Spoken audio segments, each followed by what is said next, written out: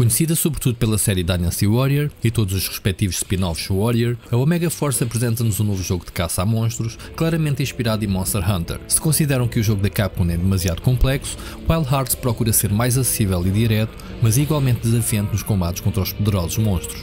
O objetivo do estúdio foi modernizar as mecânicas e, sobretudo, facilitar e incentivar a componente cooperativa até o máximo de 3 jogadores. Apesar de ser muito familiar a jogadores experientes de Monster Hunter, que certamente vão olhar para Wild Arts como uma cópia da Wish, o jogo é sobretudo cativante para aqueles que nunca tiveram contacto com o género.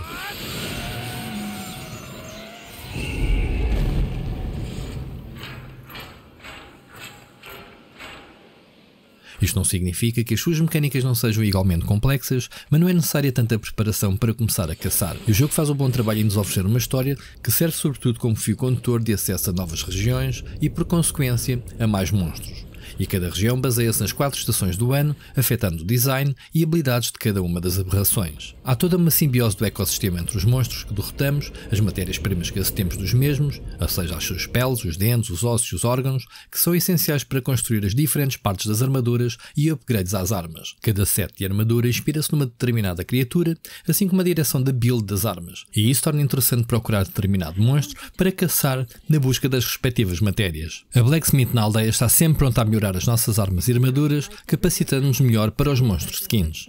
Este círculo de farming torna o jogo divertido, uma vez que quantas vezes combatem com um monstro, mais vão aprendendo sobre ele, os seus pontos fracos localizados, as proteções que têm a ser descascadas para apontar a órgãos específicos, além das suas diferentes transformações ou mudanças para o modo enraivecido durante o desenrolar do confronto.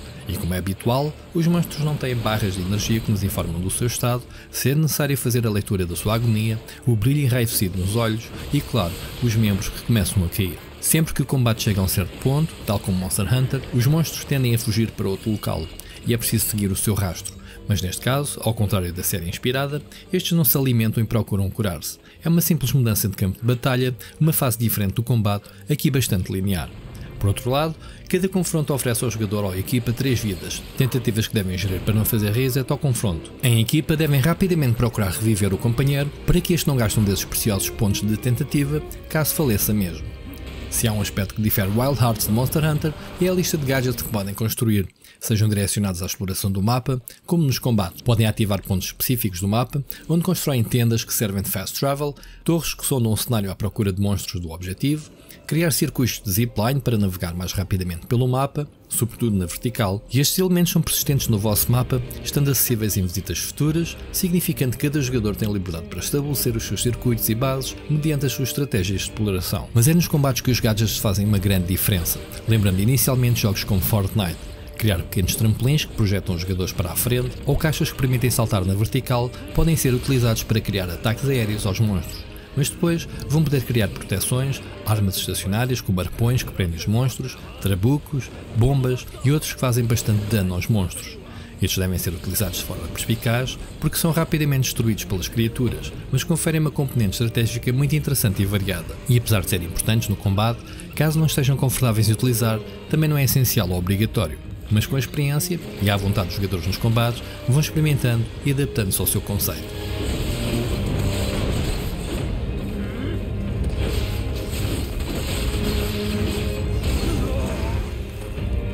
Tal como os outros jogos do género, existem diferentes armas para utilizar.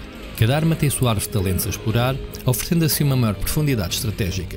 Até porque cada arma tem uma jogabilidade única, umas mais rápidas e energéticas, mas que fazem menos dano, outras são mais lentas, mas com uma grande capacidade de magoar os monstros. São espingardas gigantes, katanas, maços, canhões ou até mesmo um guarda-sol. As armas não oferecem uma enorme variedade de golpes e combos, mas destaca-se pela rapidez com que podem aprender a dominá-las. O jogo aposta em complexas árvores de talentos, mas não são fixas, convidando à experimentação. Se quiserem explorar o novo ramo de perks, podem abandonar as anteriores e receber os respectivos recursos de volta para investir em outro lado, gastando apenas ouro no processo. Além disso, cada variante permite transpor os perks que desejam, abrindo assim essa variedade. Um dos aspectos mais positivos do jogo é o sistema de matchmaking. Os monstros desbloqueados são assinalados no mapa geral por ícones, podendo facilmente escolhê-los como objetivo, iniciando logo seguida a caçada a solo ou pedindo ajuda, abrindo uma sessão cooperativa. Ou podem procurar jogos abertos, filtrando por monstros que outros jogadores estejam a caçar. É muito fácil encontrar jogadores para o tipo de monstro que procuram ou correspondente às quests secundárias que os NPCs propõem. E no caso de procurarem caçar um monstro para avançar na história e entrarem numa sessão de outro jogador, caso esteja no mesmo ponto, o progresso é gravado para ambos. Caso contrário, apenas ajudam e quando regressam à vossa partida está tudo na mesma. Bem coordenado, podem manter-se em grupo durante as fases da história, caso contrário funciona um sistema drop-in drop-out bastante eficaz. A história certamente não é o aspecto mais interessante do jogo, servindo sobretudo como fio condutor aos bloqueios de novas áreas e monstros, como eu disse. O jogador assume um caçador que chega a uma aldeia, Minato, fustigada constantemente pelos monstros, aqui conhecidos como os Kimono. Nesta aldeia conhecem diferentes personagens que podem dar quests e missões secundárias para ganharem ouro e status, servindo também para abastecer e melhorar as armas e armaduras.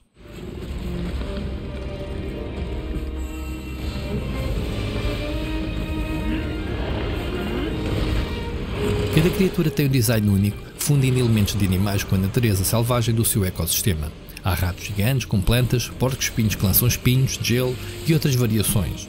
Estes kimono conseguem afetar o ambiente do cenário em redor, utilizando-o a seu favor à medida que evoluam ou entram em modo Rage, tais como causar tempestades de neve ou ataques de lava na sua área em redor. Ao todo estão disponíveis 21 kimonos para derrotar, todos eles com graus de dificuldade diferente, comportamentos e ataques, sendo verdadeiros boss fights intensos e dinâmicos.